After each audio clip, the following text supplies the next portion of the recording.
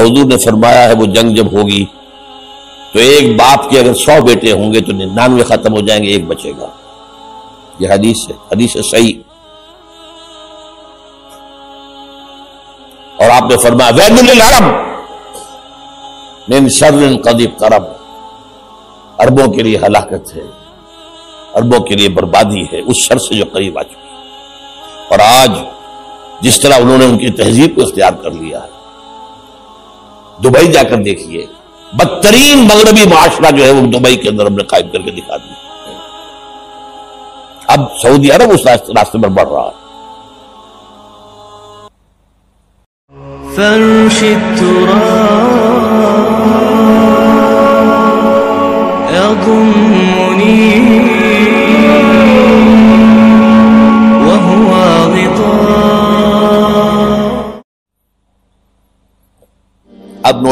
कर लीजिए, ये किताबें अगर आप पढ़ना चाहें तो किताबुल मलाहिम में पढ़िए।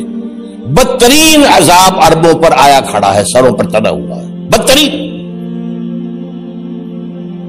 ऐसी जंग होनी है अलमलहमतुलमा जिसको कि मैं भी आपके गवाही पेश कर दूँगा। जिसे कहा गया कि लास्ट क्रूसेड। बुश ने भी क्रूसेड का लफ्ज बोल दिया था, फिर वापस लिया उसने। निकल जाती है जिसके मुँह से सच्ची बात मस्ती में। फकीह मसलहत बी से और हिंदे बादाखार अच्छा। क्रूसेड कहकर फिर वापस लिया ये क्रूसेड इसके ऊपर जिस कदर नुकसान होना है अरबों का, ग्रेटर इसराइल बनेगा। ये इराक शाम, उर्दून, सऊदी अरब का कुछ शिमाली इलाका, तुर्की का जनूबी इलाका मिस्र का सराय सीना और उसके साथ ही जो बेहतरीन उसका दरखेज तरीन इलाका डेल्टा ऑफ़ नाइल, ये सब यहूदियों के कब्जे में जाएँगे। इसको हदीस में कहा गया अल मलहमतुलमा ईसाई अस्सी अलम लेकर है, मुसलमानों तुम पर हमला आवर होंगे और हर अलम के नीचे बारह हज़ार फौज होगी। साढ़े नौ लाख फौज। ये नेटो की तैयारी किसके लिए हो रही है? जब यूएसएसआर का खात्मा हुआ तो पूछा गया था नेटो चीज़ से, अब किस लिए? तुम्हारा वो दुश्मन तो खत्म हो गया। अब हमें इस्लामिक फंडामेंटलिज्म से निपटना है। वो जानते हैं, खतरा यही है। अब इस्लाम उभर सकता है। मुसलमानों के सीनों के अंदर वो आग है ऊपर खाकिस्तान आ गया है तो कहीं उठाना बैठना ये। अंदर तो अंगारा है, ऊपर से राख है, इसे धोखा न खा जाना। इनके दिलों के अंदर। और बुश ने कहा था मुसलमान चाहते हैं कि हस्पानिया से लेकर इंडोनेशिया तक निज़ाम खिलाफत कायम करें? और मैं हैरान हुआ था कि इस कम वक्त को हस्पानिया का ख्याल कैसे आ गया। हमें तो कभी आता ही नहीं, अब हम तो भूल गए। वो तो 500 बरस पुरानी बात है, जबकि वहाँ से हमें निकाल दिया गया था। अगर इकबाल ने कहा था है अर्ज़ फिलिस्तीन पे यहूदी का अगर हक? हस्पानिया पर हक नहीं, क्यों? पहले अरब का।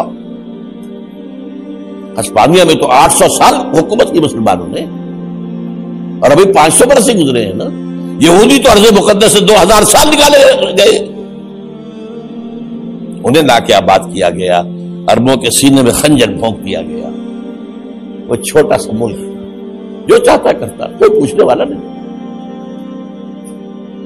अमेरिका जैसे अपने बेटे की हिफाजत करे, वैसे करता उसका।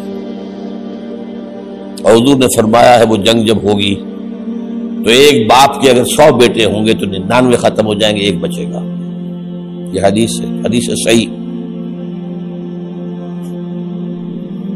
और आपने फरमाया वैदुल अरब मिन कदीब करब अरबों के लिए हलाकत है, अरबों के लिए बर्बादी है, उस शर से जो करीब आ चुकी है।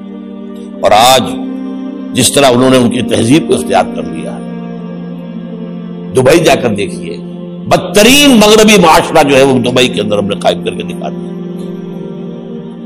अब सऊदी अरब उस रास्ते पर बढ़ रहा है। लेकिन मैं इसके वो पहली बात जो कह रहा हूँ तो यकीनी है, इसमें तो अहादी से सही मौजूद है।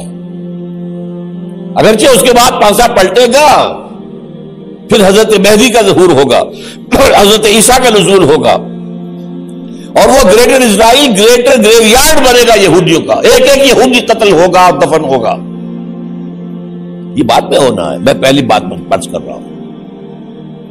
वो बासा पलटेगा जब पलटेगा। अभी जो सामने है वो क्या है? जिस मलहमतुल उजमा कहा हजूर ने, जिसे आर्मगॉड आर्मगेडॉन कहते हैं, ईसाई। आर्मगेडॉन की अगर कहीं जाकर आप देखेंगे, आप डिक्शनरी में मानी तो क्या लिखा है?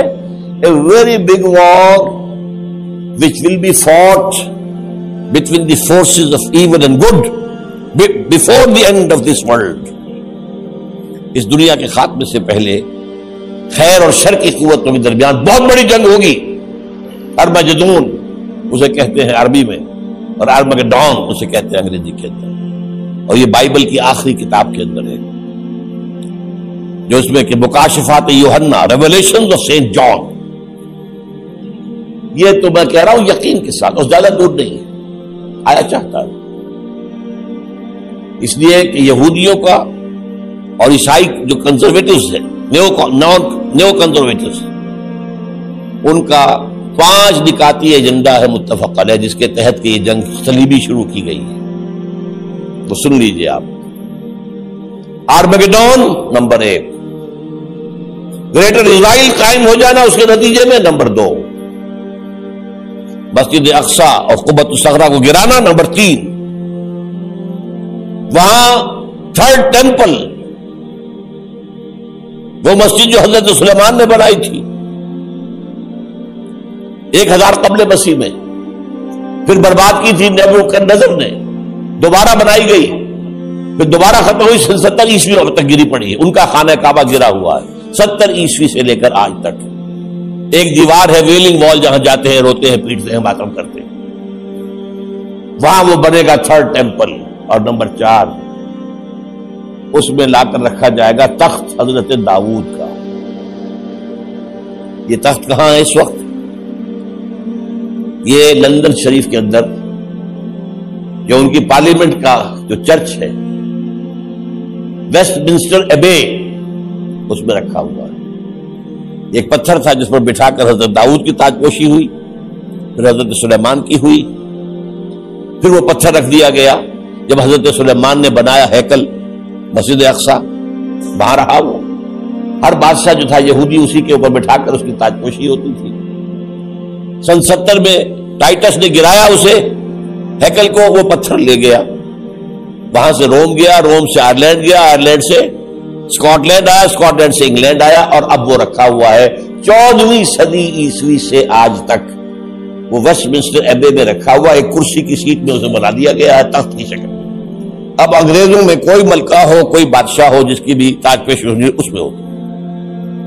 ये लाकर रखा जाएगा थर्ड टेंपल और इस पर यहूदियों के ख्याल के मुताबिक उनका मसीहा आएगा, जो मसीह दज्जाल होगा।